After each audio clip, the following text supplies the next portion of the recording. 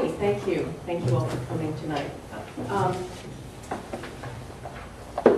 um, I am not going to read the bios that are very carefully uh, spelled out here on these pages. I'm not going to read them all. Uh, I'm not even going to read any of them. But uh, I am going to talk a little personally about each of the writers um, because I think they're fantastic, interesting um, contributors to this event. And I'd like to encourage everyone to look up these writers online. Each of them has a very strong online presence, and you can read a lot of what they've written online. You can see where that what they do, and you can see where they teach. You can see all the different projects that they do. Um, and um, Tom Beller uh, uh, teaches at Tulane, and he's written three books. Uh, but he uh, also has a website called Mr. Beller's Neighborhood and it's all uh, stories of many, many kinds about New York.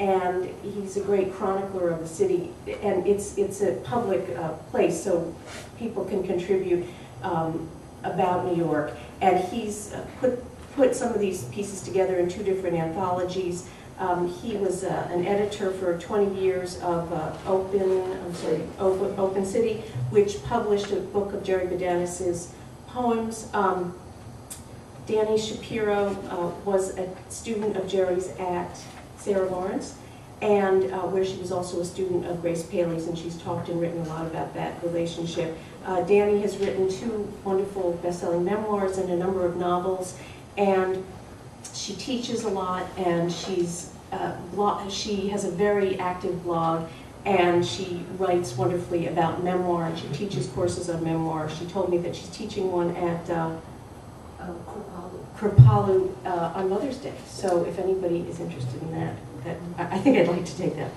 Um, and Maud Newton is, um, Maud Newton in 2002, she was hungry for literary company and so she started a blog for people who are interested in books. And uh, if anybody hasn't gone to her blog yet, I would really encourage it. Hundreds of thousands, if not millions of people have gone to her blog in these many years. And she has written widely. She's a critic. She, uh, she's written for dozens and dozens of publications. She writes regularly for the New York Times Magazine about books. Uh, she won the Narrative Magazine Novel in Progress Award for a novel that she's writing. And among her other um, accomplishments I know she's a little ambivalent about this, but there it is. She has 152,000 Twitter followers. and when you start reading her work, you'll know why. Uh, so I do encourage you to, to look at these writers uh, online because you'll learn a lot more about them and you'll be able to stay in touch with them. And it won't just be tonight, it won't be a one-minute stand. um, the other writer I want to introduce tonight is Jerome Badanes who is, uh, th this event came about because I was talking to Noreen about doing an event uh, about, inspired by Mentors, Muses, and Monsters, and at the same time, my dear friend Gail Kinn was talking about having a closet full of her late husband's books. And Jerry's the author of this, uh, somebody called it a cult novel. Um, it's called The Final Opus of Leon Solomon. It came out in 1989. 1988? 1990, I'm sorry. And, um, and she was talking, I think, to Dani Shapiro about how she could give out these books and of having some kind of event. And we put our heads together and our mailing list together, and Noreen participated, and, um, and so here we are. And so there are copies of Jerry's wonderful novel for free in the back. And uh, I think it's important to um, carry on his message and his, his art. And Dani and Tom Beller will be talking about what studying with Jerry meant. And um, I know Gail because of Jerry. I met Jerry at uh, Virginia Center for the Creative Arts, like in about 1988. And uh, among the gifts that Jerry gave me was the gift of the room where he lived, where I lived after he lived for 14 years. So I thought about him every day. Um, and I just, uh, to sort of set the tone, probably uh, some, there's, I know there's some friends in, uh, of Jerry's here and some students, um, and then there are probably some people who don't know anything about Jerry. but um, I want to just read the very beginning of his novel as a way of setting the stage. Uh, And this is the story of a, uh, a scholar who is caught stealing papers from a library and goes to a rundown hotel to kill himself. And this is the, the story of his life.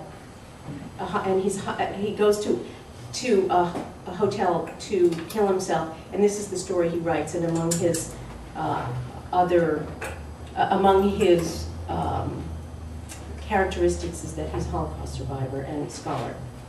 And the opening of the book is, uh, begins late evening the second day. There is a metaphysical law, and you can depend on metaphysical laws, that unity is a figment of the imagination. As soon as a unity is slowly, bloodily forged, it has already started breaking down. And right in the bitter heart of the breaking down, a new unity is already being dreamed up in the darkness.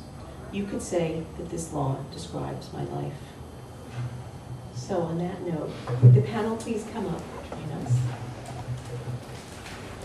And we'll talk.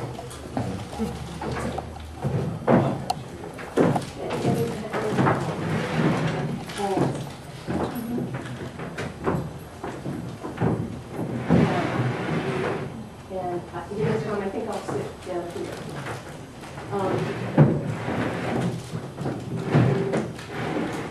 And I think what I'd like to do, everybody here? I think what I'd like to do is ask uh, first, I'm sorry, this is Maud at the end, Dani, and Tom. Um, I think what I'd like to do is ask Dani and Tom to talk for a few minutes each about Jerry and what Jerry meant to them as a mentor, what it, what he meant specifically, uh, if there were key, a key moment that changed you as, as a aspiring writer. Dani? I must say that starting, starting with reading from the opening of the final opus, I was sitting there pretty much, I'm completely famished now. Um, I can say that at a- an event that has nothing to do with Jerry, but because I, I could have quoted it to you, and I haven't, I haven't read those, that, that opening in at least ten years, but I was, I was speaking in my mind along with, along with you, and I could hear Jerry's voice. Um, can everybody hear me? I met Jerry at Sarah Lawrence when he was a judge of a contest that I didn't win. Um, But I was, I guess, the first runner-up, and he wrote me the loveliest consolation kind of note and invited me to lunch. And, um, and talked about my work with me in this incredibly serious and um, just generous, generous way. And about halfway through the lunch, we were at Sarah Lawrence in this big dining hall, and something came up about this film that he had, um, that he had made, that he had, he had been the writer for. Uh, and the film was called um, Image Before My Eyes, and it was about shtetl life in Poland. Um, and um, I knew the film because part of the footage in the film was uh, my family's footage. My great grand, my grandfather had taken my great grandfather back to this shtetl um, with one of the first movie cameras that there that, that existed, and they had said Kaddish, Kaddish at the grave of my great great grandfather. Um, and you know, you see this footage, and it's a grave that no longer exists. It was pre-war Poland, and Jerry he just leaned over the table and he looked at me and he said, "You're the Shapiro footage." and, and, and there was something about that, you know, that that that bonded us. I think very. I felt that he understood where I came from, uh, perhaps even uh, more deeply than I understood where I came from. And um, but I was thinking about it today, and I was thinking it was the generosity of a working writer whose first novel was about to come out, working on his own material, material and had a full course load, taking the time to write a note to a student saying, come have lunch with me, I really think you have a gift and I'd like to talk to you. That just, um, that really stayed with me, that's what I was thinking about today. That, that lasts, that's a gift that lasts. Yeah. Um,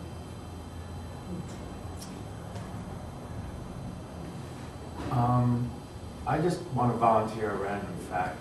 This person we're talking about, I don't want to presume anyone knows, you know, him personally, although I know that a few people in the room do. Um, He was a professor of mine at Vassar, and uh, he taught a class that was a year-long sort of intro fiction class, which I took in my junior year, having finally capitulated to a fate of being an English major, which I tried to resist. Um, and at the time I took the class, I didn't have any particular idea of myself as a writer. Though when I now think about earlier moments in my life, I think, oh, yeah, of course, you know, you were doing this and this. But um, in the course of being his student, I started to kind of warm up to the idea. First, that I might be good at this, and this is sort of fun, and then starting to think more seriously, like, well, what would this entail? And the most immediate example of what it might entail was the guy teaching the class. And um, then I'm sort of looking at him, and he provided a very interesting example uh, of a, you know, the pluses and the minuses. He seemed to be a guy with, uh, not, I wouldn't say time on his hands, but he was, had an unusually autonomous life. And once we became friendly, and this really picked up even more after I was a student, you know, we talked a lot um, and made friends and found a few avenues of mutual, you know, there's a certain genre of friendship I have that is a very, it involves philosophy, sex, food, and basketball. Grouping of interests. And, and really Judaism is the unstated connection But uh, Jerry would belong to that. And it was a novel, it was a novel experience. I want to just throw a couple of random things out there. One is that when this thing came up, I've been invited to go speak at Vassar, and I piggybacked the Vassar talk with this, so I've just come from a kind of shocking revisitation of the, of the, the primal Badanes scene in a funny way. And, and another thing I want to say is, um, as with anyone you're close to who meant something to you, you know, when their death is, is a major thing one has to reckon with. And the thing with Jerry that was interesting for me was I, my dad had died when I was a very little kid. So Jerry was a very bearish guy, beard, not much of a neck, a kind of, um, he was sort of hugging you even if you were sitting across a table. There was this real feeling of embrace and uh, not paternal though, but you know, inevitably being a professor and so forth, and somebody who I looked to for guidance. And the way he died, by the way, I mean the timing, I wanted to share because I don't ever talk about it, and I figure this is the one uh, apropos time to throw this on the table. So it's 1995, and I've got my first book coming out, and we've had lunch, and the galleys are in my hand, and he's thanked, and we have a wonderful time. And then we leave, and he sees a friend of his who I actually now really like. For, but what happened with this friend is he goes, "This guy was a student of mine, and he look at this book. It's wonderful. He's done this and he's done that." And this guy got in my face. He's like, "Yeah, you think you're hot shit?" like afterwards, I was like, "What was up with him?" I now love this guy because this is a weird aside. At the funeral between the, the memorial and going to the cemetery, every all these people stop for gas on 96th Street. And then you pull into that gas station and you have to pull out, and there's all this stuff. And this this guy, the same like asshole essentially, was standing as people were some honking and some confusion, standing there going, "It's a funeral! You know, "Fuck you, it's a funeral! The back. I told him. But on a darker note, this is the thing. Then so he got to see the galley, but the book comes out in the, what was then my local bookstore, also his local bookstore, uh, Shakespeare and Company on um, First uh, and Broadway, featured my book. That was like my home team bookstore. They really did a great job. The poster in the window, and then he, Jerry died, and the surreal thing was they, the window for one Shakespeare and Company was my, a poster of my first book, dominating the window with nothing else in it except a copy of Jerry's novel wrapped in a black ribbon. And that juxtaposition was ridiculous. But then here's the thing I never talked about, because it's so crazy, which is, because what do you, what do you make of this? But I'm just going to throw it out there, and we want. He died on May 18th. My dad died on May 18th. That's all. Mine. Um, I invited Maud to be on the panel because she wrote an amazing essay about Harry Crews shortly after he died uh, for the Awl. And she had a very different relationship with her mentor or this mentor person than you guys had with Jerry, you know, a different category. But I was wondering if you could talk about um, what he meant to you or how you, you came to feel he was a mentor. He's obviously a very different sort of guy from you. Yeah, um, it's hard to talk about Harry Crews without, um, making him into a caricature of himself, because he was, um, an astonishingly opinionated man and really a presence and really, um, kind of southerner who uh, came from a, an extremely poor background and didn't really have much truck with the niceties of um, literary society. He was very serious about his writing. He was very serious about story. Um, he was incredibly passionate about those things. And he was also the kind of guy who would, you know, according to um, legend, and I think there's some substantiation behind it.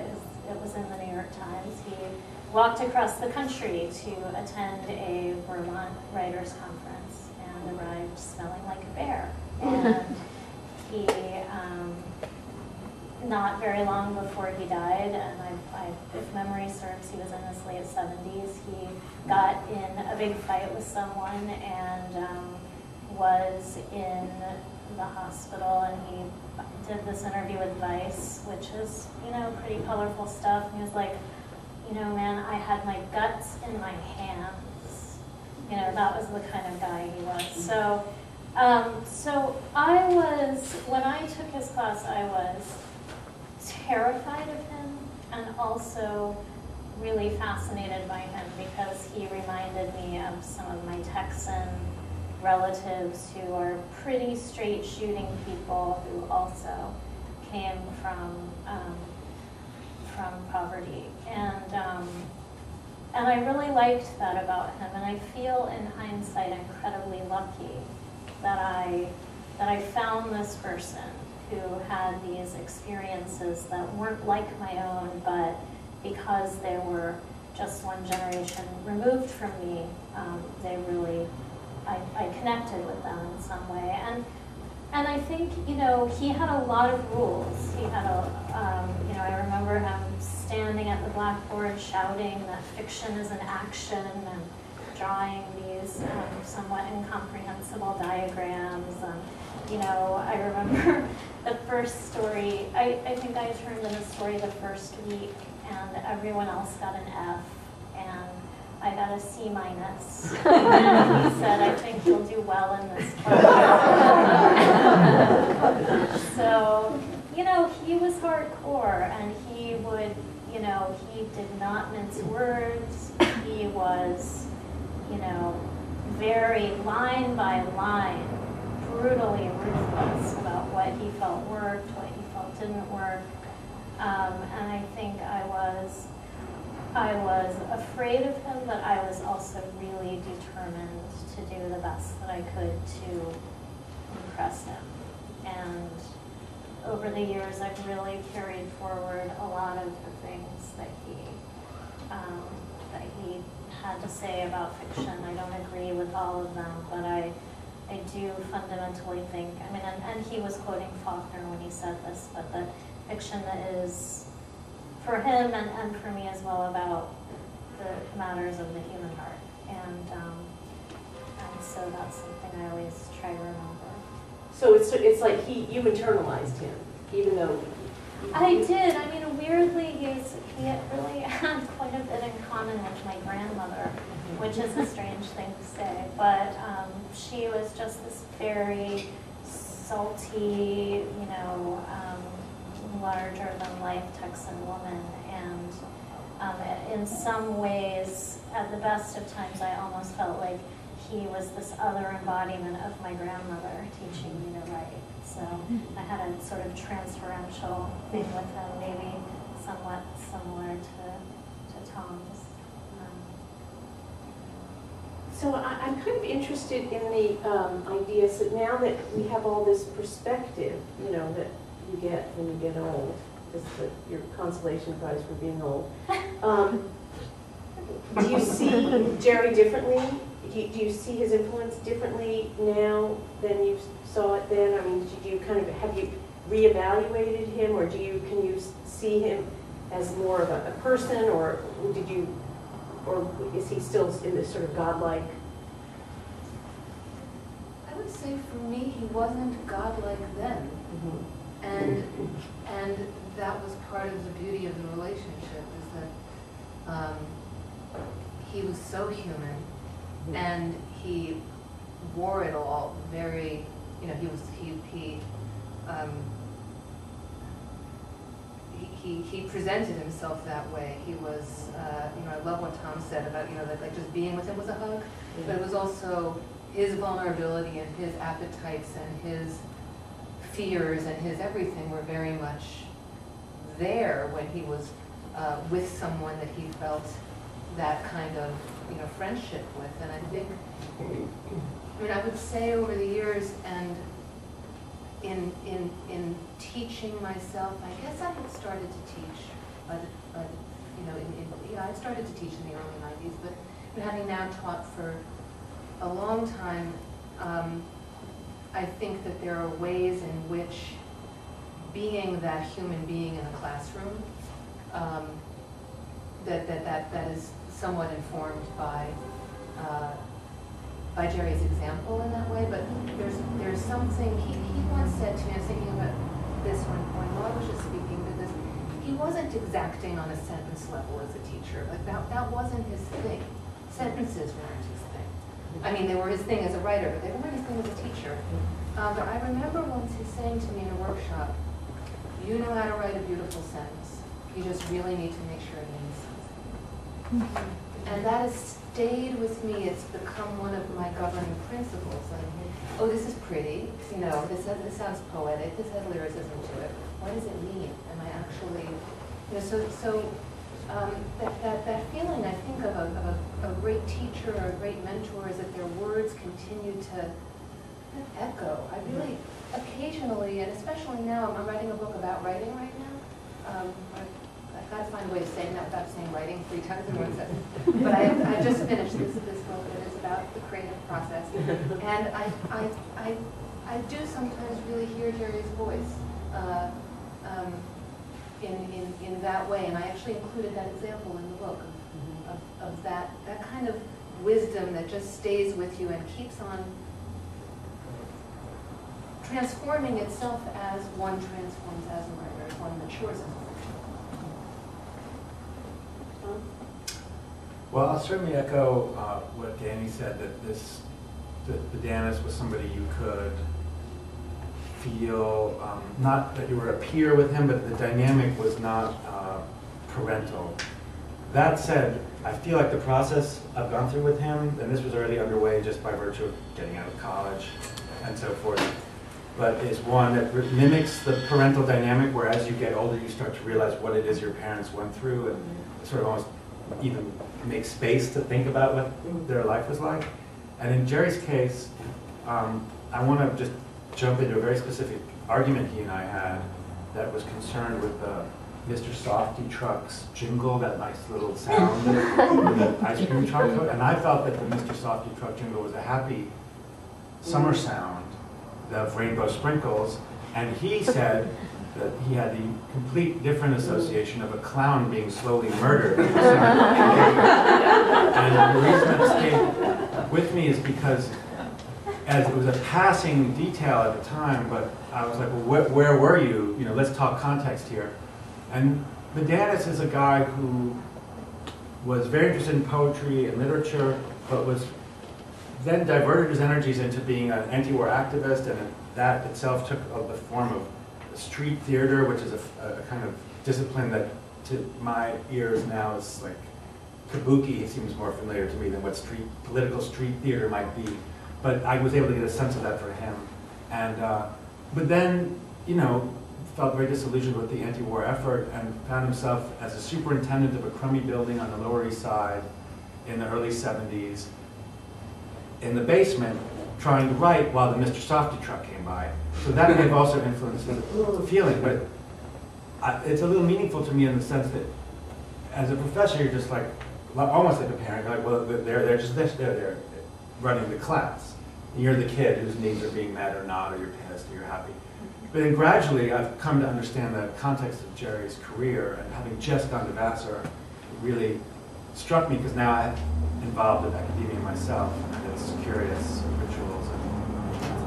And, Danis was like a, he was like a one-man insurgency at Vassar College, which was a very uptight, um, sort of anal retentive, psychically anal retentive space at the, at the professorial level. And Danis was somebody whose interests ranged from urbanism to Jewish history to Shakespeare to literature, poetry, the beats, jazz. And he kept getting gigs teaching actually these, in these different departments. And it, it- the, the school started to feel antagonized by this guy who doesn't have a PhD and has not been let into the front door. It's like he's not really invited, but he keeps being at the party. And there was at some point where the chairman of this department and the dean and the president were like, enough with Badanes in the English department. And then like whack-a-mole, he popped up in like urban studies teaching him, bringing him around. But what happened with me was this junior year experience that was so galvanizing, and as a, for me as a writer, um, was followed by the next year. He was told that he was going to be fired once and for all. That's it. And the deliverer of this news was like a, almost like a James Bond level unsympathetic character, like a villain, you know, because he, he was a very um, repressed sort of Boston Brahmin character who came from a long line of, um, you know, sugar. It's a, it's a sugar business thing, so he's really just some horrible things were happening in the Caribbean under this family's crest, you know, 200 years ago. And now he's a medievalist at this genteel institution, but he was the one that lowered the boom on Jerry, and I took it upon myself, and I'll, I'll stop, but I wanted, it was just there, to antagonize on Jerry's behalf, and I went and sat in this guy Pierce's office. The sad part of the story is I'd like to think that he was like completely vanquished, but actually he went on to run the Morgan Library for 25 years, so he was just fine. But I did feel like he was not used to getting fucked with, if you could forgive that language. And I'll never forget sitting in his office in, in as calm way as possible saying, you know, Jerry Badanes has offered a lot to the students of this school, and that ought to be taken into consideration because, for example, and yes, well, da-da-da, and I, I just wouldn't leave. And he's one of these guys with these incredible shoes, like the burnished brown of that leather was like, God knows how much they cost, how often they were shined, nice suits, you know. His legs were crossed, listening, and at some point that leg started bobbing, that foot started moving, like a little pendular up and down. And I thought, this either means I'm making progress or I'm making him unhappy. Either way, it's good. And none of this was, it was all a pyrrhic sense of triumph. But, you know, I did then write a uh, editorial in the newspaper that calmly laid out the case for Jerry, and I'll just, I'll just, I'll stop, I can't stop, I'm gonna be really quick with this next part. End of story, Jerry's gone from Vassar. The Pierce guy also left, not because of my agitation, although it was suggested today that maybe I, I discolored his sense of control over his exit, that it was something, there was a draft, he was being kind of swooped up. And I, this almost brings me to Dani's experience with him, because at that moment, he seemed really vulnerable in the world. Uh, as Dani said, he was always very vulnerable as a person. That was one of the interesting things about him, that he was willing to put that out there if he felt you were his friend. But now all of a sudden he doesn't have a job, what's going to happen? And then this ludicrously wonderful series of events happened in which Grace Paley sort of anointed him just on the sound of hearing him read. You know, a, she heard his voice reading from, I assume, the book, and was like, this is the guy that's going to succeed me at Sarah Lawrence and take over this program. Just from an oral experience. It, you know, it wasn't about reputation or review. But the other thing that happened was when the book came out, got a very good review in the Times Book Review. You don't want to make too much, you don't want to give too much authority to a book review. But I remember reading that review, and my disposition was generally like, good things get sort of screwed over and trash gets rewarded. Not an opinion that I've been led to completely overturn by anything that's happened since, but that seemed to be the rule, you know? And I'd read the Badanes novel and I thought it was incredible, and so dirty, by the way, so much sex in that book, I can't believe it. And just, but very redeemed in a strange, way. but this review was unbelievably on the money, got the book, said the right thing, selling review, and it just, it was a Badanes-like epiphany, like justice is possible. Like,